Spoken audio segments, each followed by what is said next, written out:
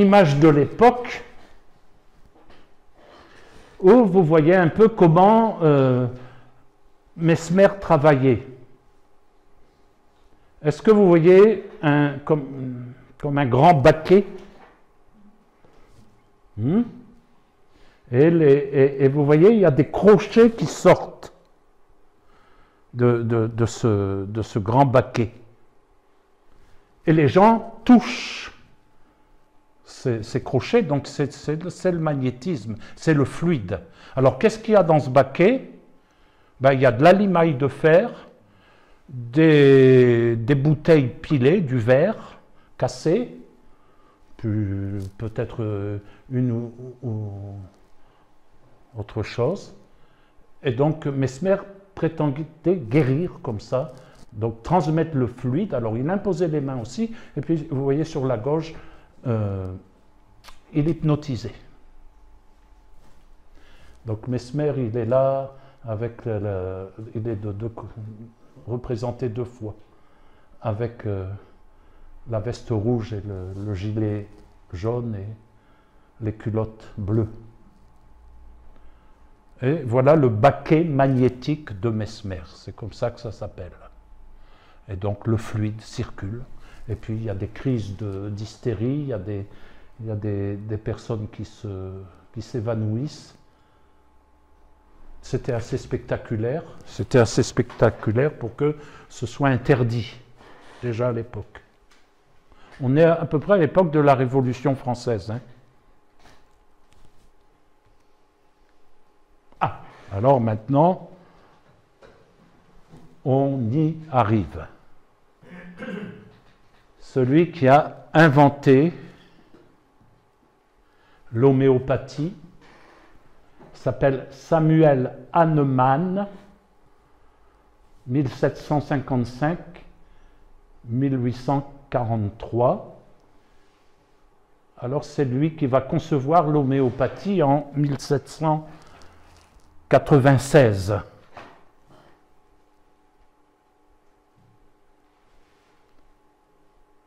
Qu'est-ce qu'on peut dire de l'homéopathie? Ben, d'abord l'étymologie. Homoios en grec, ça veut dire similaire, semblable. Et pathos, bon, souffrance, maladie. Donc, on est dans les principes qu'on a déjà vus. On va guérir par le, le, le semblable. Le semblable guérit le semblable.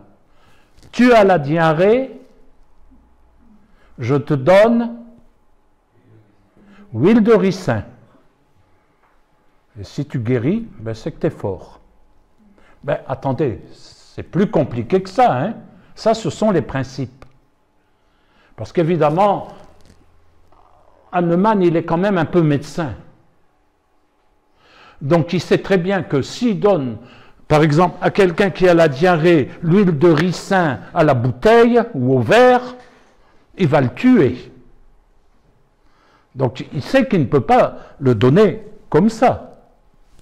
Alors vous allez voir comment il va s'en sortir. Donc c'est un médecin, alors remarquons d'abord franc-maçon, parce que ça va avoir une influence sur la science, entre guillemets, qu'il va promouvoir. Il est disciple de Paracels, Mesmer, ça on les a vus, et Confucius. Alors vous connaissez Confucius? Vous en avez entendu parler? Donc ici, on est en Chine. Et pourquoi il est, euh, disciple de Confucius? Parce que c'est l'époque où on traduit Confucius en allemand. Donc il parle allemand, hein, Samuel Hahnemann. Donc on, est en train de traduire, et il va se, jeter sur les écrits de Confucius, c'est nouveau, et il a une telle admiration pour Confucius. Et étant franc-maçon, il va affirmer que, en fait, sa science homéopathique, il l'a reçue par des révélations, une révélation céleste. Alors ça, moi, je ne suis pas médecin. Mais je suis pasteur et théologien. Alors une révélation céleste, le moins qu'on puisse dire, c'est qu'il faut l'examiner. Parce qu'elle peut venir d'en haut, elle peut venir d'en bas, même si elle est céleste. Et euh, j'ai trouvé certaines sources parlent même d'une révélation céleste reçue dans des séances de spiritisme. Alors là, je doute du céleste. Il ne faut pas avoir un grand discernement des esprits pour savoir que si tu reçois une révélation dans une séance de spiritisme, c'est peut-être pas le Saint-Esprit.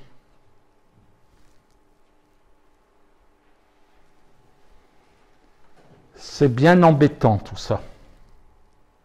Moi, je ne suis pas médecin, encore une fois, hein, je suis pasteur. Mais regardez ce que Hahnemann pense de Confucius. On trouve dans ses écrits la sagesse divine,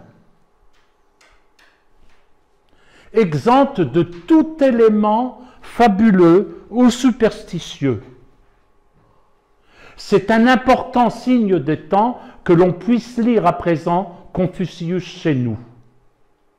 Lui-même, Confucius, je le serrerai bientôt dans mes bras, dans le royaume des esprits bienheureux.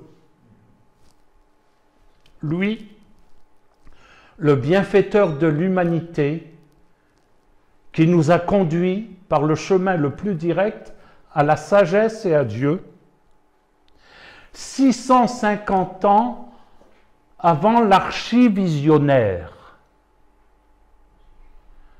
Alors, il faut connaître un peu le langage d'Hahnemann. Quand Hahnemann parle de l'archivisionnaire, l'archivisionnaire, c'est Jésus. Constamment dans ses écrits, il a désigné Jésus comme étant l'archivisionnaire. Donc pour lui, Jésus, ben, c'est celui qui reçoit des visions, l'archivisionnaire. Et c'est Confucius qui est le chemin le plus direct à Dieu. C'est plus je suis le chemin, la vérité et la vie. Nul ne vient au Père que par moi.